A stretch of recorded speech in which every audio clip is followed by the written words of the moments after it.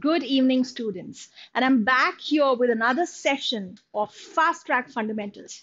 So I hope you've been wonderful and I hope that I'm perfectly audible and visible. Okay. So without much ado, let's begin the discussion. Hi, Prince. How are you? I'm glad to see you. Okay. So, Prince, I'm sure, and others of you who are joining us gradually. Hi, Priya. I'm sure you're excited to know what are we doing today, and probably some of you know we are taking up para completion today. Now, para completion happens to be a really tricky and a challenging topic, right?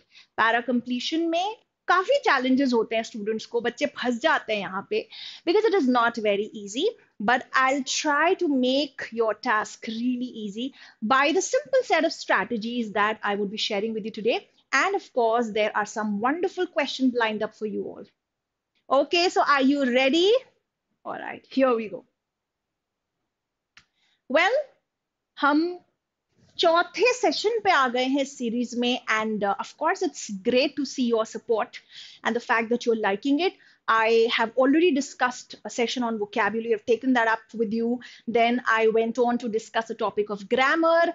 Finally, the last one was reading comprehension. If you haven't seen that, do check it out that as well. And today, ultimately, para completion. So first of all, let me tell you this interesting thing. See, what makes para completion challenging is the fact that you know this is more or less about guesswork for example मैं आपसे simply पूछू कि भाई बताओ मेरा next sentence क्या होने वाला है? एग्जैक्ट मेरा एग्जैक्ट नेक्स्ट सेंटेंस क्या होने वाला है? क्या आप बता पाएँगे? Of course you can guess but you can be very very sure about it the same thing happens in para completion see a paragraph is given to you आप सबको पता है पैरा कंप्लीशन के बारे में. A paragraph a short paragraph normally is given to you and a blank out there right now there's a blank this is a paragraph imagine and that blank can be anywhere either the first line itself is a blank or maybe it can be that this last one is a blank. Or maybe it is somewhere in the middle of the paragraph, and you obviously have to fill that blank with the most suitable, the most befitting choice. And so, obviously, the challenge is how because the option that will be given to you will be really close आपको ना close options मिलेंगे आपको एकदम ऐसा नहीं मिलेगा that one is talking about the north pole the other about the south pole options would be close so at the end of the day जितना मुश्किल ये है कि मेरा exact next sentence क्या होने वाला है right app at best guess ही कर सकते हो because i'm talking about para completion it would be something about that randomly i won't start talking about a, a movie or some uh, some some book for that matter obviously i have to uh, understand that what the writer is saying in the same fashion whenever i speak of para completion you have to understand what is the theme or what is the main idea to be a little more specific ठीक है और उससे ही relevant कोई बात होगी Outrightly अलग तो कोई बात नहीं हो सकती this much you all know but then there are some specific set of strategies that will help you to understand the nuances and here we go with those things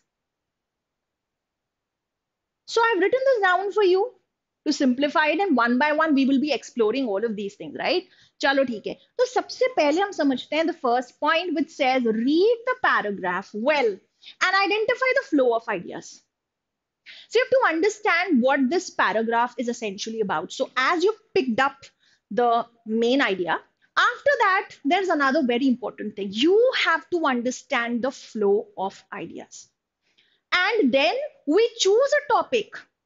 Rather, we choose an option that honors the coherence of that देखो flow of idea समझो ऐसी कोई भी चीज़ आप randomly नहीं choose कर सकते जिससे flow of idea disturb हो जाएगा जिससे choppiness आ जाएगी जिससे discontinuity आ जाएगी the ideas have to be very continuous if you don't understand this theory or this framework that i'm telling you you will face a lot of problems in the questions that are lined up ahead because i have taken up not very easy ones of course right? So I've picked up questions of medium difficulty, but for that you need to understand this really well. So class, please make sure आप लोग Meenakshi repel Priya please make sure कि आपको ना अच्छे से point समझ में आए जहां भी कंफ्यूजन है please ask me So we have to understand the logical flow, as I said. For example, if I am telling about a problem, now I describe the problem, I introduce the problem, okay? Then I tell you about the different dimensions of the problem. And after that, I finally suggest a solution to the problem, right?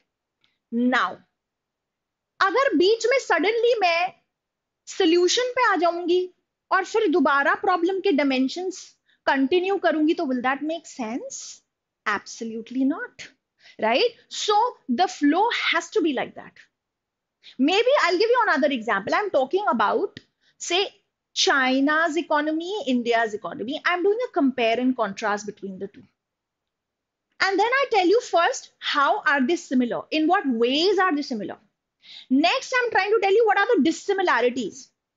And finally, identify the Achilles heel of India's economy that happens to be the manufacturing sector, which is very advanced in China. And then I say, the you know, as an author, I conclude that India must take some lessons from China with respect to the manufacturing sector. So this is my organization. This is my flow of idea. It has to be in a proper coherent form. Cannot be haywired अब अगर मैं बीच में ही solution देने लग जाऊँ जहाँ पे मैं कंपैरिजन कर रही हूँ तो वो that won't make sense right that will interrupt the flow ठीक है ना So you got to understand that there has to be a logical flow and आप इसी हिसाब से ऑप्शन चूज करोगे जिसमें it will make perfect sequence out of it. It will not disrupt the flow of ideas. And more than anything else, class, I would say this carries the maximum weightage. What do I mean by the adjacent or the closest idea? Imagine that this is my paragraph, right? So maybe that I've been given the first sentence as the blank. तो मुझे क्या देखना है कि what is the closest idea it is certainly the first line of the passage और that idea might run up to one two two और maybe two two three sentences that's absolutely fine तो मुझे देखना होगा कि भाई मैं यहाँ पे ऐसी कोई बात बोलू जो इस चीज़ से एकदम से मेल खाए और वो एक लॉजिकल कनेक्शन बने। Option given to me maybe such के ठीक है, वो थीम के हिसाब से सही है। I am talking about bitcoins right how unpredictable they are or how risky they are or how lucrative they can be to some people uh, so the all the options given to me will be about Bitcoin. That's that's for sure. But then I'll have to see कि first sentence वो क्या बोल रहा है उसके हिसाब से मुझे अरेंज करना पड़ेगा likewise if it's the middle part I am lucky I have two end points here so I just have to select a suitable sandwich between those two endpoints. I know what is the preceding idea and I also know what is the subsequent idea. So I just have to bridge the gap between these two endpoints. So I think it becomes even more fun if you get a para completion exercise, which is here, the blank is in the middle of the paragraph. This is even more fun. Okay. Okay. Now coming over to the next point. See, adjacent closest idea will carry the maximum weightage. But at the same time, you have to keep in mind two more things. Number one, the tone of the passage. For example, sometimes the tone, at least identifying uh, whether the author is positive towards it, is negative towards it, or is neutral about it. If you can do even this much, I think that will do wonders for you. Imagine that the author is talking about Bitcoin. And then again, initially he says that you know it is very risky and many people have lost a fortune out of it okay but at the same time then it says however many people have made huge whopping amounts of money out of it. And there is no other way in which you can multiply your money the way bitcoin can do for you. So, अब आपको समझ में आना चाहिए and में अगर blank दिया हुआ है स्टार्ट तो थोड़ा वार्निंग के साथ में हुआ, लेकिन फिर टोन ऑथर की कैसी हो गई? अब टूवर्ड्स द पॉजिटिव हो गई। If you can understand that inflection of the tone that will be great आपको अब ये समझना है कि फाइनली आप मुझे थोड़ा सा पॉजिटिव सेंस में बात करनी और क्योंकि ऑथर बोल रहा है कितना पैसा तुम बिटकॉइन से बना सकते हो तो तुम किसी और से नहीं बना सकते ठीक है ना तो कुछ उसी से रिलेटेड आइडिया होना चाहिए again we can not be talking about the negatives of Bitcoin because that again is going to be a little not so coherent, incoherent rather. Is this much clear? So even the tone helps. Finally, yes, this is very important. This goes without saying that you have to eliminate the options that are not aligned with tone and main idea, simply a repetition of what I just told, and avoid alien or irrelevant components. Now I put up this thing, this should rather be in bracket because this happens rarely. Many times we have this tendency of adding things which are slightly irrelevant because somehow we are confused. And we feel हाँ ये भी तो आ सकता है, वो भी तो आ सकता है। आने को तो बहुत कुछ आ सकता है। बट हम कोई भी चीज़ ऐसे यूज़ नहीं करेंगे ऐड नहीं करेंगे पैसेज में, जिसका एक क्लियर और कंपेलिंग प्रेसिडेंट ना हो। ठीक है? We need a compelling precedent हमको पता होना चाहिए कि हमने अगर ये ऑप्शन चूज़ किया है, इसलिए किया है क्योंकि कुछ ऐसा क्लू हमको मिला है, उससे पहले ऐसी कोई बात हो रही है, जिसकी वजह से हम इस चीज़ को इंट्रोड्यूस कर रहे हैं। anything which is not directly relevant to the topic at hand or to the discussion should be eliminated, should be done away with, for sure. Anything which you feel is absolutely alien or out of scope, definitely. अब यहाँ पे वही बात करिए ये मैंने क्यों लिखा unless required by the passage now imagine see you've got to understand the scope of the passage if i am talking about bhopal gas tragedy what a disaster it was fine it was a huge man made disaster, I must say. And then I'm describing it. Now, if there is an option that suddenly talks about some other similar calamity or disaster or tragedy that took place, all right, in some other part of the world, maybe in Russia. So, do you think that is required? That is actually breaching the scope, that is transgressing the scope of the passage. However, अगर उसमें दिया हुआ है that in terms of uh, the enormity of this particular tragedy, there is another tragedy that really comes close. यानी कि the author is drawing a parallel, the author is making a comparison. तो फिर समझ में आया that he's setting the ground for introduction of this other tragedy, which he finds is similar in some or the other way. In that scenario, तो obviously we'll have to choose one. तो आपको ये देखना होगा कि हवा में हम हर कुछ नहीं ले आते, हम जहाँ की बात कर रहे हैं, उधर की बात करें, लेकिन ऑथर का क्या प्लान है, वो आपको समझना होगा। अगर आपको क्लियर कट अगर कहीं पे कुछ दिखता है क्लू कि अब हमें कोई दूसरी ट्रेजिडी जो सिमिलर लग रही है, उसकी बात करनी चाहिए then of course will go ahead with that not otherwise ठीक है ना? And finally make use of key word देखिए की वर्ड्स में मैं बस ये चीज़ फ़िलहाल हाईलाइट करूँगी कि ऑप्शन में अगर मान लीजिए कहीं दिया हुआ है the strategy is definitely the best for stress management and is being incorporated in numerous corporate office and MNCs round the world now this means that ये जो दिस वर्ड है ना, बड़ा पावरफुल है, यानी कि इसके पहले आपने वो स्ट्रैटेजी एक्सप्लिसिटली मेंशन की होनी चाहिए। Otherwise this option is not justified if my option starts with any of the conjunctions, if it starts with however, और फिर कुछ बात कर रहा है तो वो हाउ एवर का यूज़ वहाँ पे जस्टिफाइड होना चाहिए। उससे पहले जो आइडिया है, वो कुछ कॉन्ट्रास्ट बताए then only it will make sense are you getting me यानी कि ये कीवर्ड्स भी आपको बहुत कुछ बताएंगे मैं पास्ट की बात कर रही हूं suddenly one option is talking about future baselessly of course i have to eliminate that option because that just doesn't fit in so some words here and there are going to give me vital insights and they'll help me eliminate such options is this much clear all right चलिए ठीक है। So so, यहाँ तक clear and finally मैंने बोला logic is Paramount मतलब आपको logically ही चलना है ये तो बोलने वाली बात ही नहीं है। And in fact logic is the key you have to understand कि यहाँ पे उसने बात करी है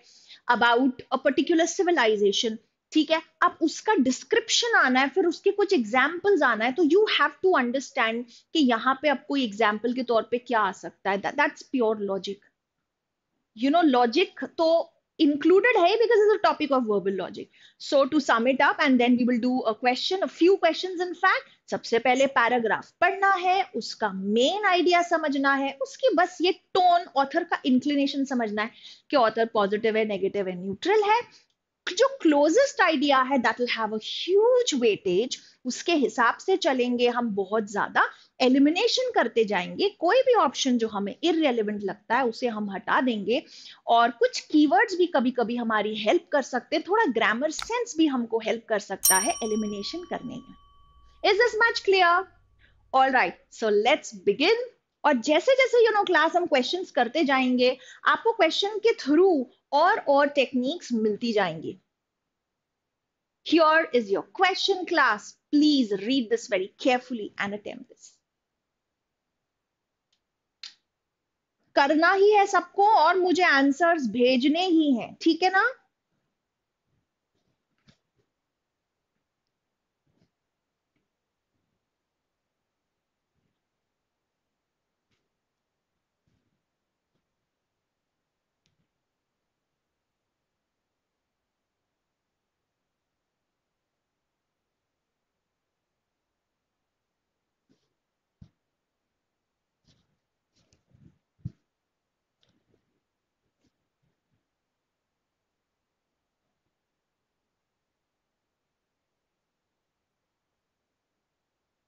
Yes, come on. I'm waiting for your responses.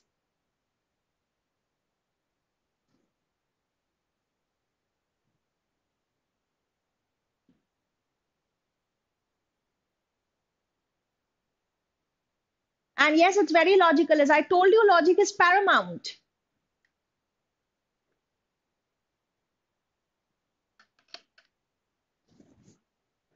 Okay, wonderful. Okay, Priya, you think it is B? Yes, Ananya, what do you think? Chali, I believe I've given you enough time. Let's do it together now. Let's discuss. This is a wonderful question. While your intentional mind is thoughtful, see, whenever you read, there are some keywords, some important words, some major words. You have to focus more on them right? And the rest falls in place. Your comprehension falls in place automatically. All right, Sarthak, Prabal, Ananya. Many of you think it is B, some of you think it is A. All right, interesting. देखते हैं. While your intentional mind is thoughtful, it's easily waylaid by deep-seated habits. Intentional mind जो है वो बड़ा conscious है, वो बड़ा thoughtful है, वो बहुत सोच समझ के चलता है, लेकिन जो आपके डीप सीटेड हैबिट्स हैं, ठीक है ना, उनके आगे ना वो वेलेड हो जाता है वो उसको बरगला देते हैं, समझे आप? If you are trying to lose weight for example अभी देखिए एक एग्ज़ाम्पल है, इससे बहुत आसान हो जाएँगी चीज़ें। If you trying to lose weight standard intervention like weight loss programs will leave your intentional mind feeling motivated? ठीक है. But they won't feed your habitual mind. जो आपका इंटेंशनल माइंड है, वो तो वैसे भी कैसा है? बड़ा ही लॉजिकल है. तो वो तो मोटिवेटेड हो जाएगा, कोई भी वेट लॉस प्रोग्राम वगैरह जिसमें आप एनरोल करोगे, उसकी वजह से. लेकिन वो आपके हैबिचुअल माइंड को बिल्कुल भी टैप नहीं करते. To accomplish that you must first derail existing habits अब क्या करें हम कि हमारे जो हैबिचुअल माइंड है, ठीक है ना, उसको हम कैसे टैकल करें? You must first derail existing habits and create a window of opportunity to act on new intentions समझ में आ रही है बात? तो यहाँ पे आके उसने छोड़ दिया है और ये एक ब्लैंक है। अब आपको सूटेबल ऑप्शन फिल करना है। जैसे मैंने आपसे बोला कि सबसे पहले हमको थीम समझना है थीम बहुत क्लियर है intentional mind versus the habitual mind right और लास्ट जो आपका आइडिया है, जो क्लोजेस्ट या जो एडजस्टेंट आइडिया है, वहाँ से आप कहानी हमको आगे ले जाना है।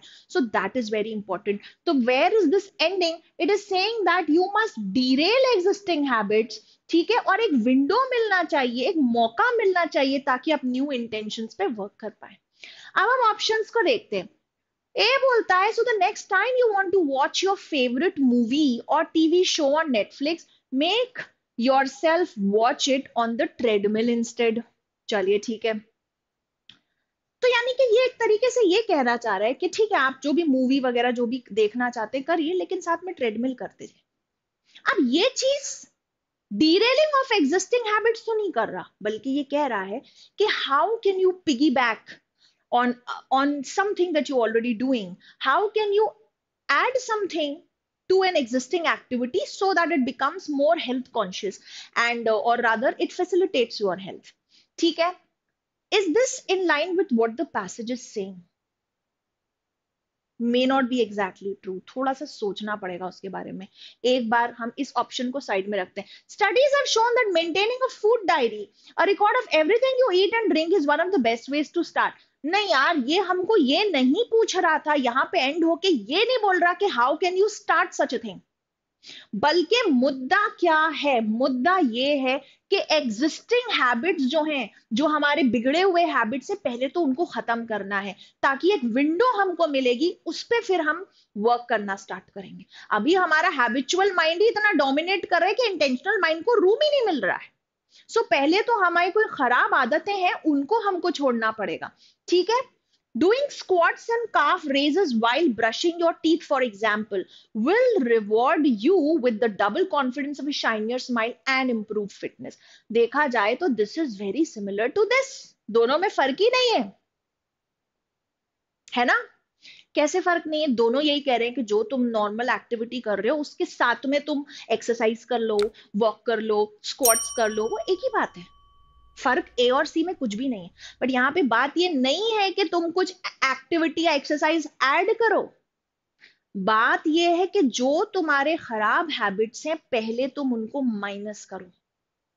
ठीक है ना? That is the clip D So get rid of unhealthy cues by moving junk food out of your pantry and put fresh fruit out where it's easy to see.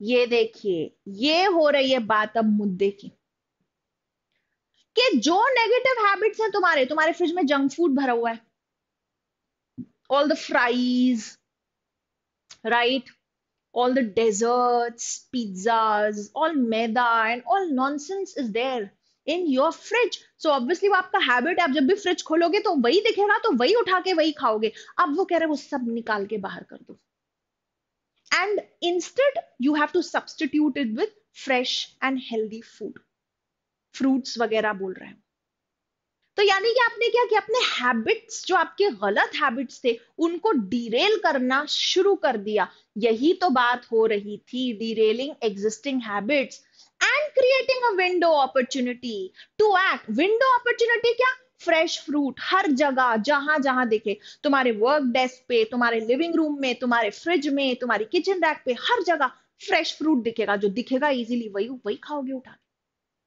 आप समझ रहे हो? That's the that's the approach So definitely we already have our answer. The answer is D delta. Is this much clear? As I told you, देखिए I am clearly using all those points all those techniques that I just shared with you short time before. Now we move to the next question. Now here very interestingly, हमें बीच में एक blank मिला है. So as I said, you have both the clues with you, right? आपको beginning वाला और ending वाला दोनों आइडियाज़ आपके साथ में you just have to choose an option that bridges these two options let's do it come on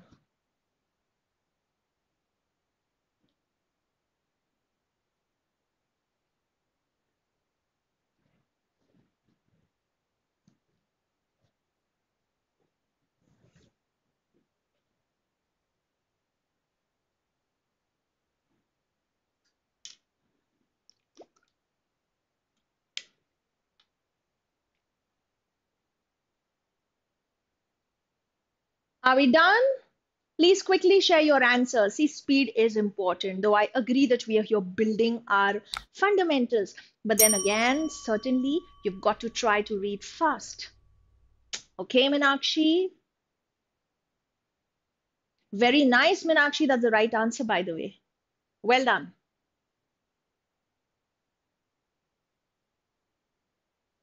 Chaliye, I, I can clearly see that you have read this, so let's begin the discussion.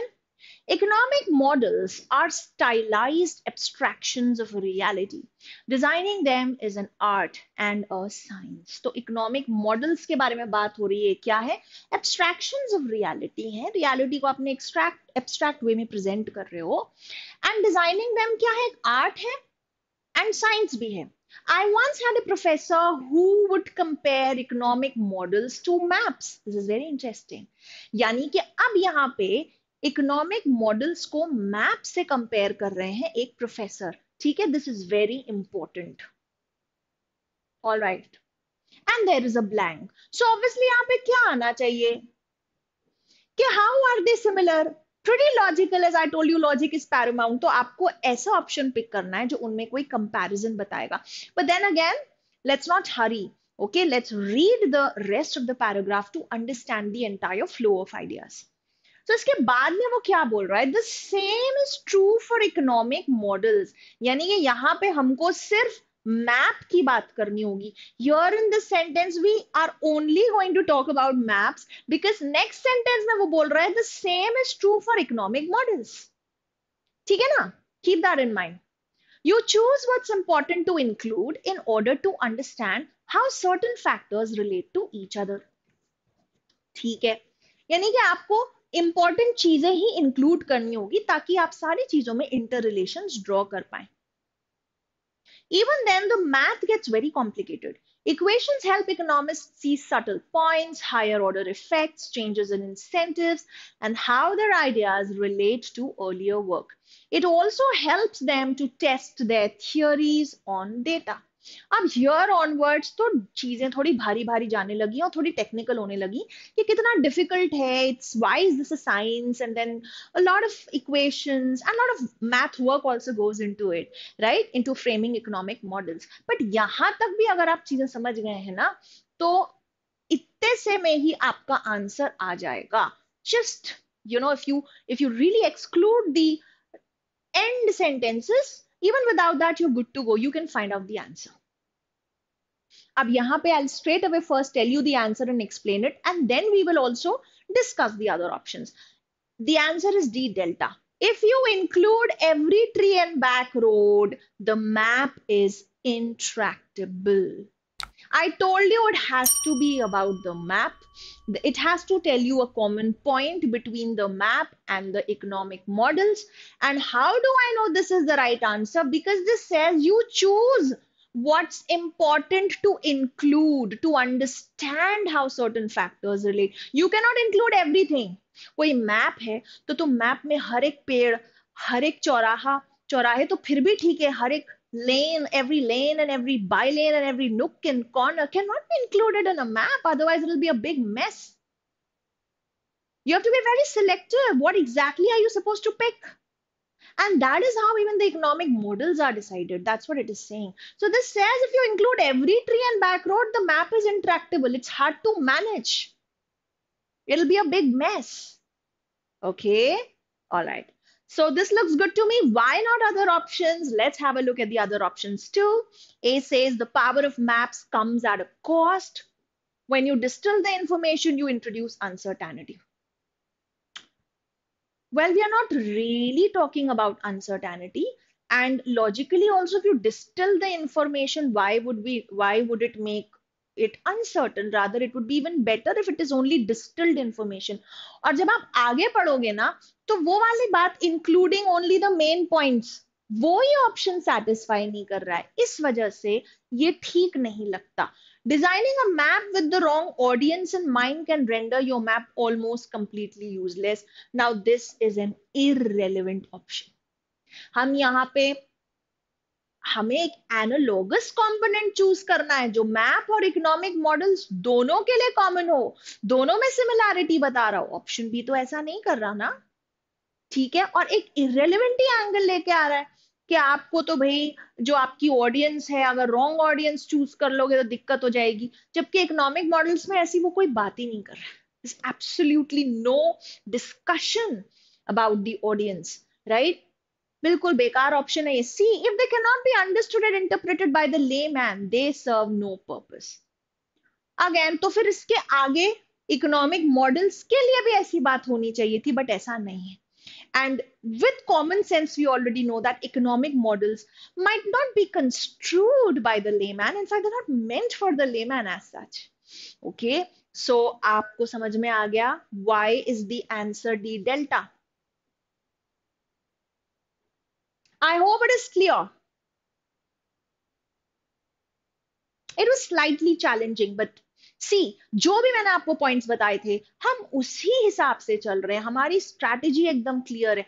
और जैसे ज़्यादा से ज़्यादा हम question करते जाएँगे, आपका भी कॉन्फिडेंस बढ़ते जाएगा। And I am again reiterating this let me re emphasise let me reassert that you have to solve a lot many question you know to gain mastery on this this particular topic is really elusive this is challenging but this is intellectually stimulating too all right, nice. Let's move towards the next question. I hope you'll be able to crack this one. This is a nice one.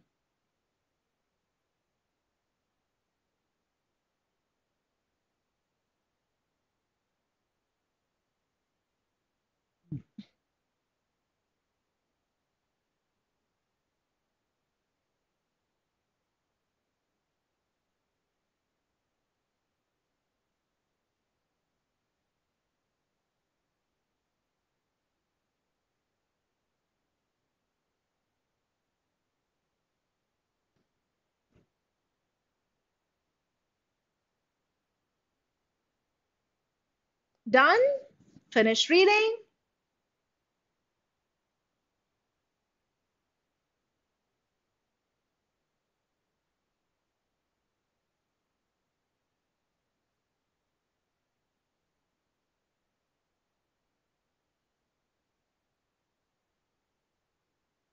चलिए discussion start करते हैं there's a blank in the beginning all right and then it says it's flowing rivers and grassy valleys teemed with fish and wild animals. Clearly हमें समझ में आ रहा है कि हम किसी प्लेस की बात कर रहे हैं ना, ये इट्स जो है यहाँ पे this is talking about some place जिसका हम डिस्क्रिप्शन दे रहे हैं during the next six thousand years in this inviting land waves of migrants developed a series of increasingly advanced societies बहुत सारे माइग्रेंट्स भी आए, ये बहुत ही इनवाइटिंग लैंड था। क्यों इनवाइटिंग था? इतना सब्स था, ठीक है? इतना हरा भरा था। यहाँ पे अच्छी रिच फ्लोरा और फोना थी। और यहाँ पर फिर बहुत सारी सोसाइटीज आए। और ये आपको क्लियरली किसमें दिखेगा? पेंटिंग्स हैं, ठीक है? और कुछ काविंग्स भी हैं रॉक्स के ऊपर जिसमें आपको क्लियरली ये चीज़ें दिखेंगी that there were so many people there were so many societies and rich flora and fauna that flourished in this place long back around 6000 years back ठीक है so passage is very simple let's now move to the options the first option there's a complete record of early African civilizations and of Stone Age life that can be found anywhere. ना class आपको एक चीज़ समझनी पड़ी। Am so glad रिपेल सार्थक, प्रिया, अनन्या, भूमिका, मीनाक्षी, आप सबने सही आंसर दिया है यार। मज़ा आ गया। I am so so happy so finally you are getting on I can clearly see that good चलिए, ठीक है। वंडरफुल सो आई थिंक क्योंकि समझ में आ ही गया है so I will quickly breeze through the other options. I'll directly explain the right answer, which happens to be D delta. ये हम पहले ही डिस्कस कर चुके हम किसी किसी जगह के बारे में बात कर रहे हैं वो भी उसके बारे में छह हज़ार साल पहले जो सिचुएशन थी जो बहुत ही प्रॉस्परस थी उसके बारे में बात कर रहे हैं अब यहाँ पे आप देखिए when I speak of option D 8000 years ago while vestiges of the ice age chilled europe the sahara we know today, as an empty, arid desert, was a fertile region. रहा है, आठ हज़ार साल पहले, जब यूरोप उस time पे ice age से ही उभरा था ओके वेस्टेजेस हैं, यानी कि उसके लेफ़्ट ओवर या उसके साइंस हैं, वो थे that you know Europe was very cold back then Sahara जो था जो आज क्या है, एक डेजर्ट है। उस टाइम पे वो भी एक बहुत फर्टाइल रीजन होता था। ठीक है ना? That is the key and obviously this fits in beautifully well क्योंकि इसके फ़ौरन आगे वो यही बता रहे हैं कि वो कितना फर्टाइल था। This is just a logical extension of that idea okay, it had green valleys, it had rivers flowing, it had so many societies developing there in fact migrants coming in so this beautifully fits in yahan pe african civilizations or stone age life we are not talking about a civilization or stone age life आप जब देखेंगे यहाँ पर तो it's flowing rivers clearly suggest कर रहे हैं कि हम किसी एरिया किसी जगह की बात कर रहे हैं। ठीक है? Animals and humans began to disperse but the paintings protected protected by dry air remained what are you talking about illogical बिल्कुल भी नहीं बैठ रहा है। ठीक है? यहाँ पे बात हो रही है French explorer ethnologist Henri Lhote began an intensive study of the neglected frescoes कब? इन 1956 एट तसनिली एंड आजर कोई जगह है जहाँ के फ्रेस्कोस की स्टडी कर रहे हैं। अब यार फ्रेस्कोस क्या होते हैं? तो पेंटिंग्स होती हैं। मोस्टली वॉल पेंटिंग्स जहाँ पे ऐसे कलर्स किए जाते हैं कि वो वॉल में कहीं परमानेंट हो जाते हैं। तो क्या ये किसी पेंटिंग का डिस्क्रिप्शन है ये? सर्टनली नॉट तो ऑब्वियसली आप समझ सकते हो that the answer has to be the delta. Let's do a few more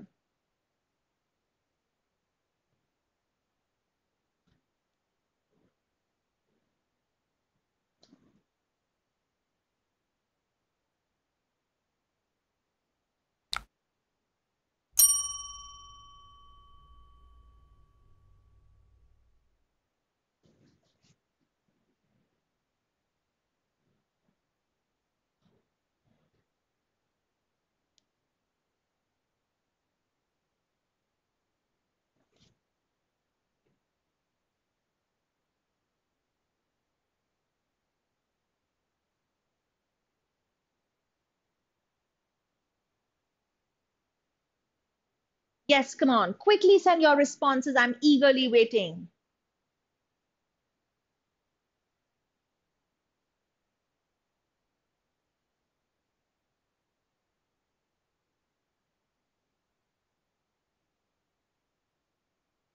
All right, I think I've given you enough time. Let's start the discussion so that we can take more and more questions. Fine. All right. So coming to this one, this again is a pretty doable one. Okay, okay. So I am getting multiple responses. Some of them are right, some of them are not so right. Not to worry, I'm there. I'll help you out. Traditional pharmacies have been knocking at the doors of the government for some time now.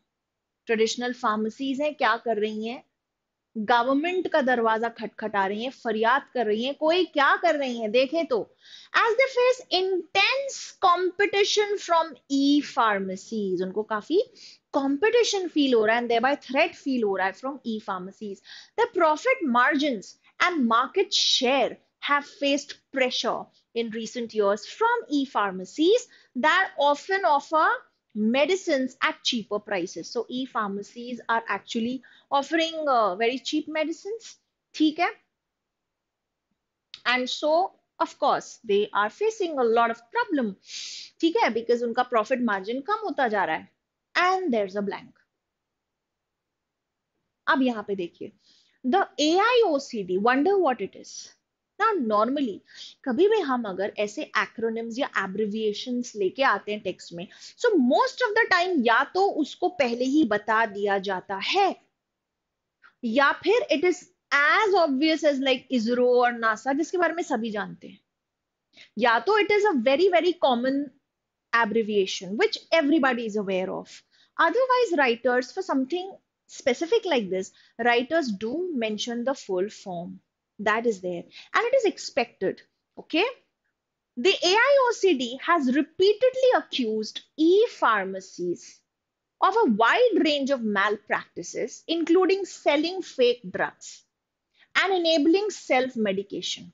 The organization has been citing these issues to seek a ban on the sale of drugs online अब यहाँ पे वो बता रहा है आपको कि A I O C D definitely कोई बॉडी है, कोई ऑर्गेनाइजेशन है जो ये कह रही है कि भैया आप तो इन पे बैन कर दो और उसके क्लेम्स क्या is alleging that you know this is you know these e pharmacies are selling fake drugs and they are enabling self medication which is really a wrong thing चलिए ठीक है वो कह रहे हैं इनपे तो बैन लगा दो।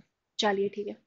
We have both the end points in mind let's explore the options one by one option a the ministry of health and family welfare proposed the setting up of an e-portal to and regulate the sale of to regulate the sale of drugs across the retail chain क्या ये logical flow के हिसाब से रहेगा अब बीच में आप इसमें अभी तक तो ये शिकायतें कर रहे हैं इस पूरे पैराग्राफ में हो क्या रहा है? एलिगेशन कंप्लेन्ट्स अब इसका क्या इफ़ेक्ट पड़ा? Has the government taken any step that is yet to come if at all that will come but that will come after this paragraph this can not come in the middle of it do you understand government ने already अगर step ले लिया तो they won't continue making such allegation and you know demanding ban ये अगर आएगा भी तो ये बाद में आएगा कि गवर्नमेंट ने क्या स्टेप्स लिए? Did this fall on deaf ears did they complain fall on deaf ears या फिर वाकई में इन्होंने कोई एक्शन किया उसको लेके? आप समझ रहे हो बात को? सो दैट वे आप देखोगे तो दिस इज़ इलॉजिकल यहाँ पे बीच में बैठने का ऐसा कोई सेंस ही नहीं है भाई। The risks associated with e-pharmacy, especially when it comes to the dispensation of prescription drugs without the necessary checks, cannot be taken lightly. देखिए अब यहाँ पे this looks like फिर भी a fine option, but then suddenly AIOCD आ गया और यही thought carry forward हो रहा है. देखिए आपको ये चीज़ समझनी होगी कि ये जो है ना cannot be taken lightly. This is slightly like a judgment. that the author is actually passing यार ये तो ना थोड़ा सा इसको हल्के में नहीं लिया जा सकता। This is more like an opinion जबकि अभी तक ऑथर बैठकर सिर्फ़ आपको फैक्ट्स बता रहा है कि e pharmacies are posing a big threat to the traditional pharmacies and they are vehemently opposing and they are demanding a ban on e-pharmacies. So ये तो एक फैक्ट चल रहा है, ये तो फैक्चुअल चीज़ है। अब वो फैक्ट्स के बीच में तुम ओपिनियन लेके आ गए। वो भी ऑथर की सडनली क्या ये तो सही नहीं है ये तो बुरी बात है अरे कहाँ से आएगा पहले तुम पूरी बात तो बताओ कि शिकायत है क्या है क्या क्या इल्ज़ाम है उसके बाद में फिर ऑथर कहीं अपना व्यू पॉइंट एक्सप्रेस करे तो that would make sense are you getting it alright next B, however, was a confusing option. I'm, I'm telling that. However, the ministry's plan on regulating e-pharmacies is a rather outdated one. Rubbish. You have not even spoken about what exactly is the plan. Suddenly, यहाँ पे plan of regulation कहाँ से आ गया? अभी तो we don't even know whether they are going to do something about it or not. And you are saying that the plan is an outdated one. Doesn't make sense. Got it? All right. Look at this. But perhaps the only thing clear from the All India Organization of Chemists and Druggists. Here, you get a big clue here. Demands is its intention to protect the business interests of traditional brick and mortar pharmacies. तो यहाँ पे इन्होंने they've not just introduced this AIOCD, thereby explicitly mentioning what it is, what kind of a body it is, but is saying that इनका plan एकदम clearly नजर आ रहा है और plan क्या है? So they want to protect the business interests of traditional brick and mortar pharmacies. Is this much clear? और क्यों इसी को, इसी आइडिया को कैरी फॉरवर्ड करता है फिर वो ये कि वो रिपीटेडली अक्यूज कर रहे हैं कि भाई ये तो फर्जी ड्रग्स भेज रहे हैं और इनको तो बैन कर दो। तो क्लियरली नज़र आ रहा है कि वो अपने बिज़नेस इंटरेस्ट को प्रोटेक्ट करने के लिए इस तरह के क्लेम्स कर रहे हैं। Is that clear so the best choice is going to be D delta बहुत ही सटल रीजन की वजह से हमने बी को एलिमिनेट किया है। अगर डी डेल्टा ना होता is such a promising option clear winner तो हम डेफिनेटली बी के बारे में सोचते because the next best choice was B but as we say we have to pick the best option है ना? And so definitely D stand out as the best option all right class so I believe एक last question करके फिर इसको हम wrap up करते हैं। ये हमारा लास्ट क्वेश्चन होगा दिन का। And I believe with the set of questions and the insights that I give you you are definitely feeling more confident you now at least have a road map कैसे आपको para completion को handle करना है? This is the last one coming your way okay all the best I hope you will get it right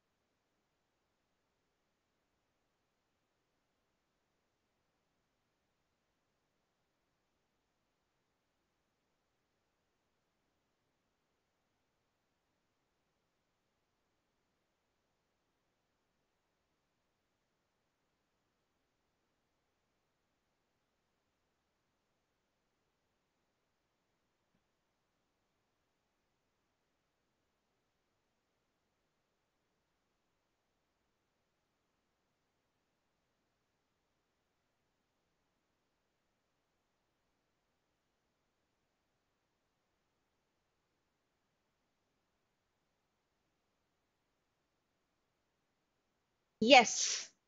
Come on, waiting for your answers. Priya, that's the right answer. Well done, beta. Minakshi, this one, do you really find it tricky? It isn't. देखिए para completion में तीसरी बार कह रही हूं ये practice से आएगा approach I have at least laid down the foundation this is the ground work that I have already done for you but then you would certainly require a lot of practice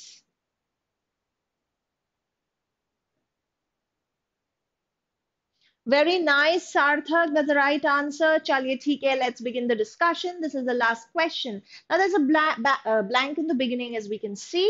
और फिर दिया हुआ है in his book, The Republic. Plato proffered a parable in which Socrates celebrates the solitary philosopher. ठीक है तो उनकी book में जो रिपब्लिक थी प्लेटो ने क्या किया? ओके okay, एक टाइप की स्टोरी एक पैरेबल टाइप की। वो बताई वो ऑफ़र कर जिसमें सोक्रेटिस जो है सेलिब्रेट करते हैं सॉलिटरी फिलोसोफर को। अब देखिए आपको एक चीज़ समझना होगी कि एक चीज़ होती है सॉलिट्यूड और एक चीज़ होती है लोनलीनेस एक चीज़ होती है that you are alone and the other thing is you are lonely they're two different things दो दो रिलेटेड है ना? लोनली नेगेटिव चीज़ होती है आपको अकेलापन महसूस हो रहा है but when you are lone when nobody is around you you might still be at peace with yourself you may enjoy that loneliness like you are solitary you might enjoy that there is no crowd around me that gives you room for self reflection that is what precisely this passage is explaining you got it देखिए वो यही बोल रहा है कि he celebrates a solitary philosopher जो philosopher अकेला है, ठीक है, उसको सेलिब्रेट कर रहा है। और यहाँ पे वो बोल रहे हैं कि केव है और फिलोसोफर एस्केप कर रहा है from that cave and from the company of other humans तो जो कंपनी ऑफ़ अदर ह्यूमंस है, उसको एक्चुअली एक तरह से कंपेयर किया गया है विद अ डार्क डंजन और अ डार्क अंडरग्राउंड डेन और फिलोसोफर जो है उस कंपनी ऑफ़ ह्यूमन से which is very much like a dark den उससे एस्केप होकर कहा पहुँचता है? कॉन्टम्पलेटिव थॉट में। एक फिलोसोफर की तरह गहराई से सोचना और उसको सनलाइट से ब्राइटनेस से इक्वेट किया गया है। ठीक है? Alone but not lonely now आप जब ये चीज़ देखते हो ना, ये चीज़, ये मेन आइडिया बता देती है आपको इस बात का।